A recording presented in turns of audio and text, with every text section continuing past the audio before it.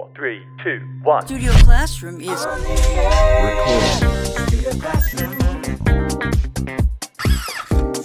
Please stand.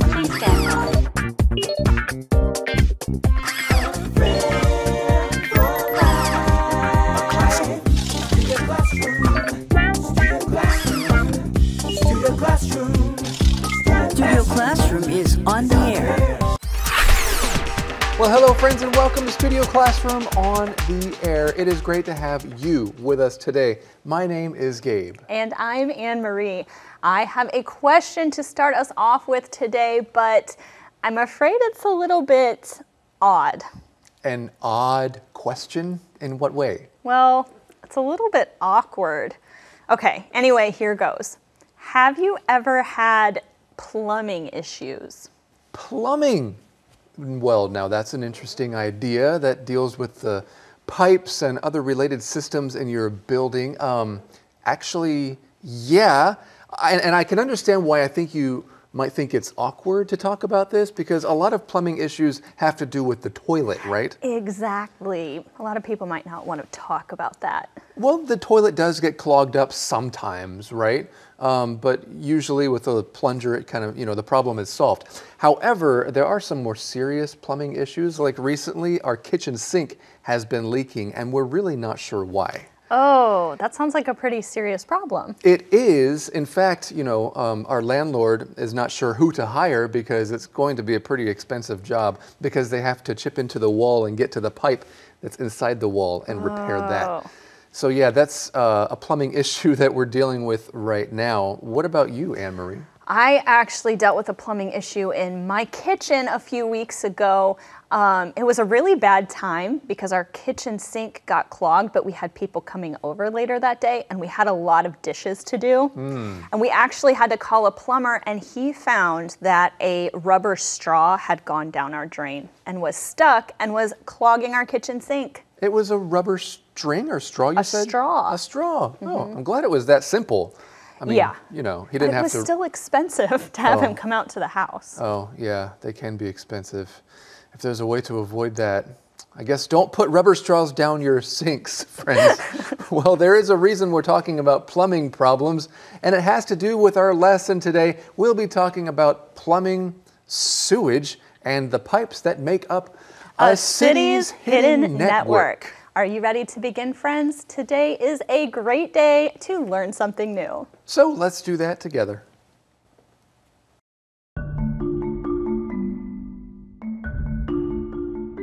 A city's hidden network.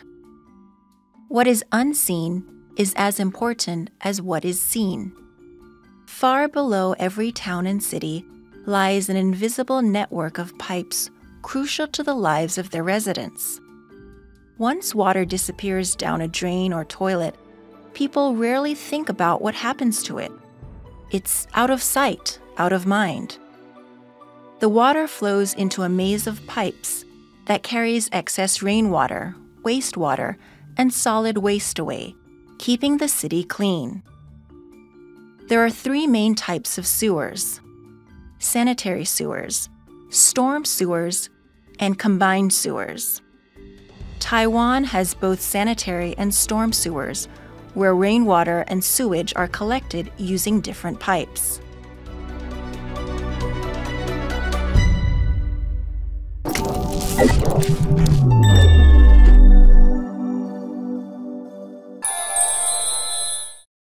Hi everyone, welcome to Language Lab. I'm Jack. 我们首先来看 invisible 这个形容词，它的意思是看不见的、隐形的。譬如，Dylan's house is invisible from the street because it is surrounded by trees。在街上看不见 Dylan 的房子，因为都被树木包围了。或者是，There are many stars in the sky that are invisible to us。天空中有许多星星是我们看不见的。再举个例句。：The mark the black ink left on the table is almost invisible since Mona cleaned it。Mona 清洁桌上那个黑色墨水痕迹后，现在几乎看不见了。接着来看 excess 这个形容词，它的意思是过度的或是过多的。譬如 There was a lot of excess water after we filled the glasses, so we used it to make coffee. 我们倒完杯子里的水后，还有多余的水，就拿来煮咖啡。Excess 也可以当名词哦，意思是过量或是过剩。譬如，There is an excess of overpaid actors in Hollywood。好莱坞有过多片酬超额的演员。片语 in excess of 的意思是超过，例如。 Susan made in excess of one million dollars last year. Susan 去年的收入超过一百万美元。Okay, let's get back to our teachers. Thank you so much, Jack. Friends, we just want to remind you to check out our Instagram channels, our YouTube channel. Our Instagram is sc.hosts and YouTube is the 空中英语教室杂志 official channel. You could find different things there. Well, let's talk about this. A city's hidden network. What is unseen is as important as what is seen. Well, Anne Marie, that sounds like that statement could be true about many things in life, right? Yeah, that's true. What is seen is as important as what is unseen. Or what is unseen is as important as what is that's seen. That's right. I yeah. guess that's true about people, isn't it? Yeah. Yeah, what's underneath, what's in the heart is just as important as what's on the outside, or maybe even more important. It kind of makes me think of motives or someone's motivation for doing some, something, um, because a lot of people are doing great things in the world. Um, are you doing great things because you genuinely care about people? Or so that other people will notice the good things that you're doing. That's just one example of a motive that might be unseen that people won't really know about unless they tell you themselves. Mm, that's right. Well, here in our lesson, we're talking about sewage and water and flushing the toilet. When you flush the toilet, you don't really think about what happens next. It's out of sight, out of mind. That's a phrase that we wanted to talk about today. Out of sight, out of mind. This is a phrase uh, that we use to express when someone feels uh, maybe they don't have any feelings for somebody or something if they can't see that person or thing, or they don't think about it at all. Uh, I often use this phrase when talking about people. For example, um, if someone has left your company, do you stay in touch with that person? And are they still your friend? Or is it kind of out of sight, out of mind. And that means you're only interacting with the people who are still around you in your life. That is a good way to use this phrase. Another way that I like to use it is talking about messes. You know, my kitchen door at home has a door on it. Well, the kitchen has a door on it. And I like that because if there's a mess in the kitchen, I can close the door and the mess is out of sight, out of mind. so basically, the mess is still there. You still have to deal with the mess, but now you don't have to think about it because the door is closed. Exactly. Right? Out of sight, out of mind. Well, is there any situation where you could use this phrase, friends?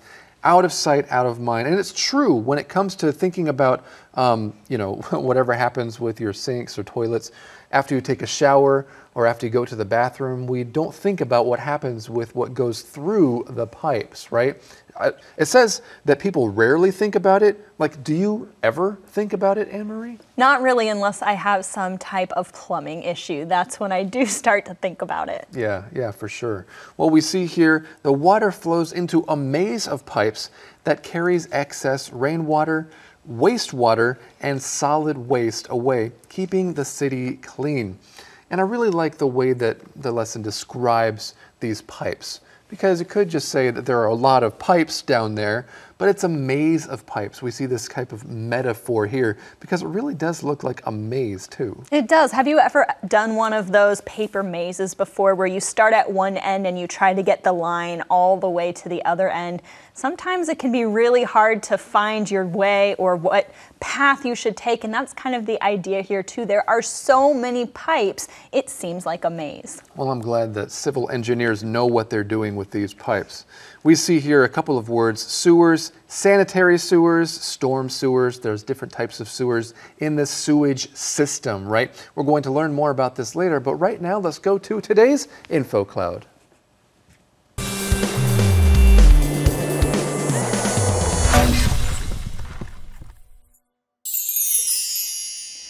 Hi friends, welcome to today's program.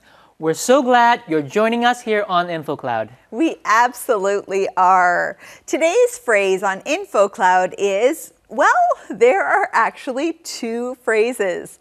The first phrase is to go with the flow. Rex, are you a person who likes to go with the flow?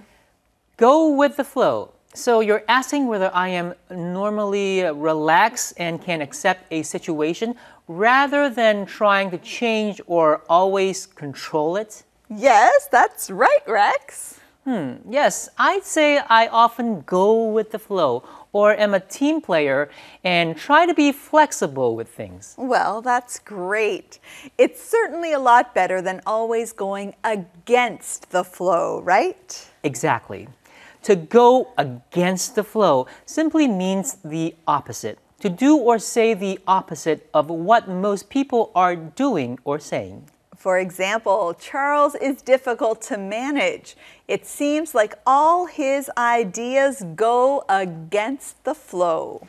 Or another one It isn't hard to motivate the students. They're always up for an adventure and just go with the flow. Oh, good one, Rex.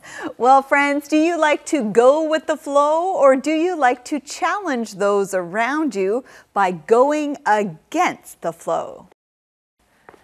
每个人的个性不同，有些人为人处事喜欢 go with the flow，也有些人喜欢 go against the flow。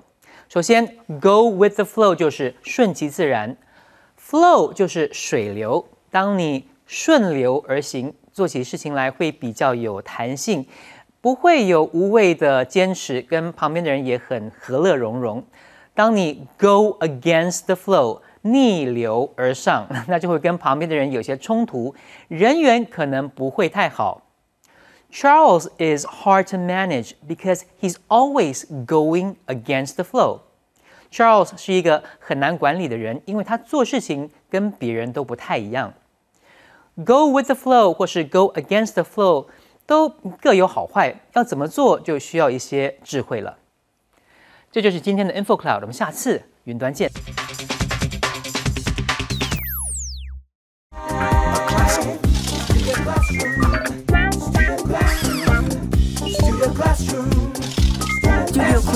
Is on the air.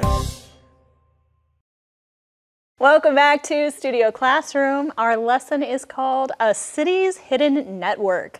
We are talking about sewers and sewage today. Toilets, wastewater, solid waste. We're having a great time. It may be out of sight, out of mind for you, but in developed countries, it's always there. That's right. And earlier we learned that there's a maze of pipes underneath our streets. And how do they function? Like a city's veins. Let's find out more about that now.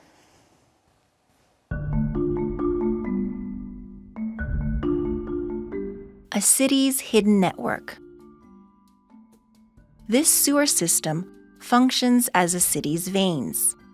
Water containing human and industrial waste is collected in sanitary sewers and conveyed to sewage treatment plants, the heart of the sewer system where waste is treated.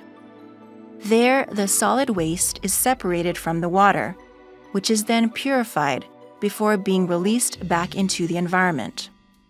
It will be reused for industrial, agricultural, or environmental purposes or to produce energy.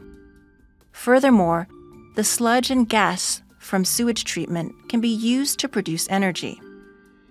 They not only contribute to a healthy environment and good quality of life, but also achieve the goal of sustainable development.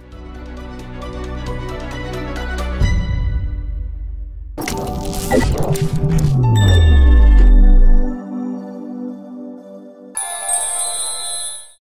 好，接下来看 purify 这个动词，它的意思是使纯净或是净化。譬如，You need to purify any water before you drink it。在饮用任何的水之前，都要先将水洁净过。或者是，Those plants really helped to purify the air in this tiny room。这些植物真的有助于净化这个小房间里的空气。再举一个例句 the group used water purifying tablets to make the water safe when they were traveling in the jungle. 这个团队在丛林中旅行时使用了净水药片来让饮水安全。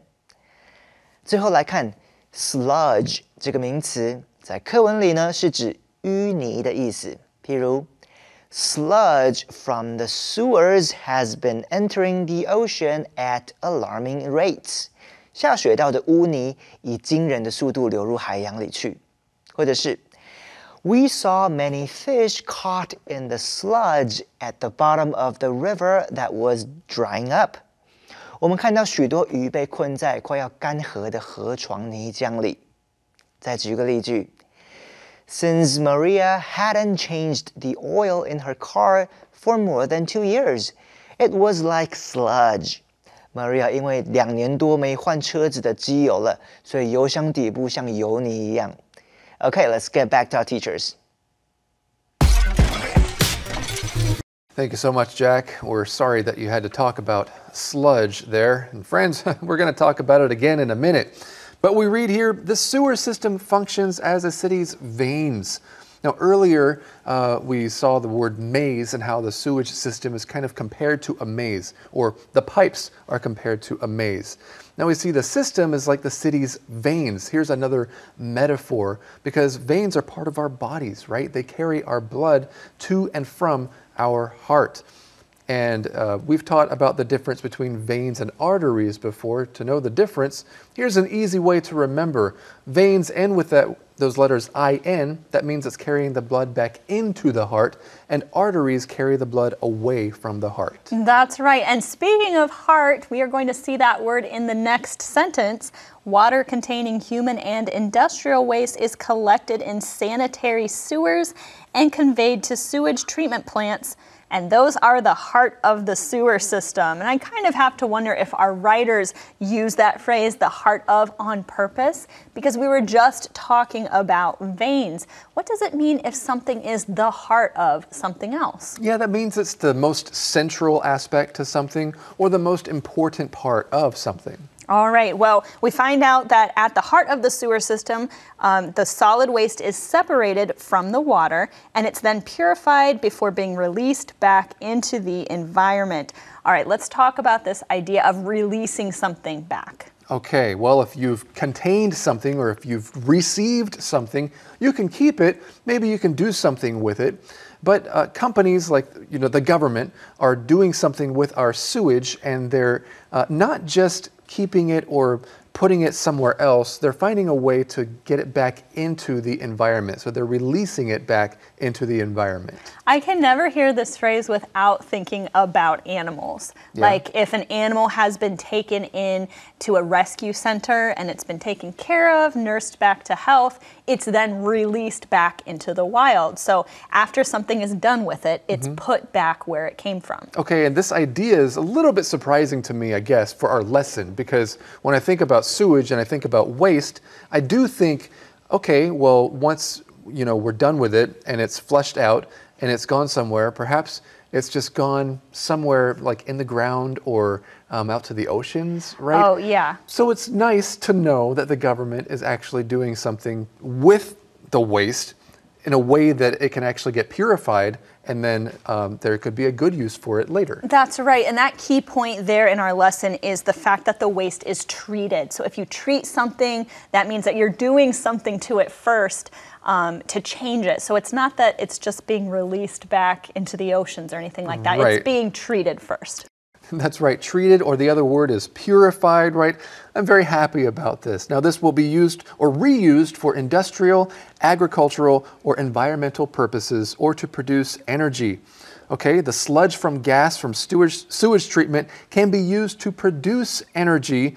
And we also find out in the last sentence the idea of sustainability, right? Because we hope that uh, the goal is for these things to be sustainable. Now, if something is sustainable, that means it's a practice that you can do from now on until forever, right? And it's going to be okay for the environment.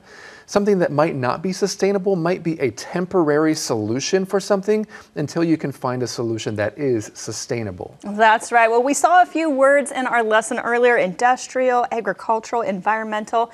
These all remind me of things that I learned about in school. So let's talk about some school subjects right now.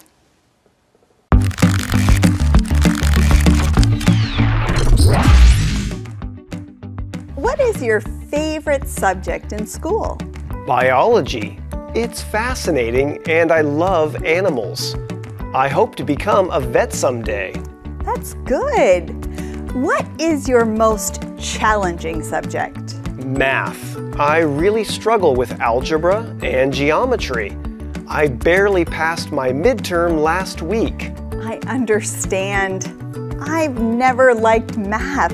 Thankfully, I don't need to take it this year as I'm taking the arts track for the National University Entrance Exam.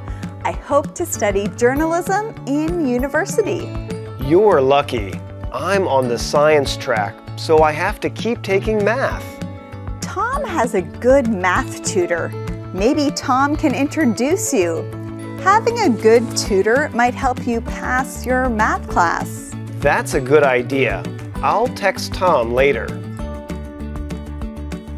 Subject. Subject.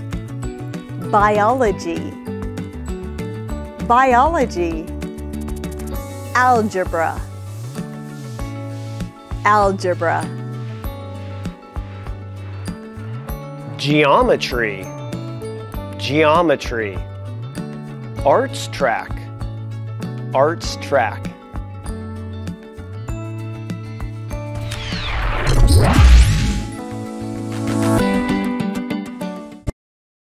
Well, since we're talking about the sewage system, let's talk about some sewage related terms, perhaps some expressions or idioms or phrases that we have in English that use some of these kinds of terms. What's one that comes to your mind, Anne Marie? Well, the one that I wanted to share about first was the term to have a potty mouth. Ooh. A potty mouth is when your language or the things you talk about is a little bit dirty or not always appropriate. So you could say, oh, he has a potty mouth or watch your potty mouth. Uh, That's true. It's not good to have a potty mouth.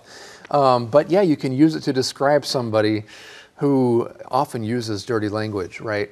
Um, well, another one I thought of was to go down the toilet. Of course, you know it usually goes down the toilet, but the idea here with this phrase is that something started out maybe okay, but after a while, it's not been successful and maybe it disappeared completely. Like maybe someone's job or someone's reputation, right?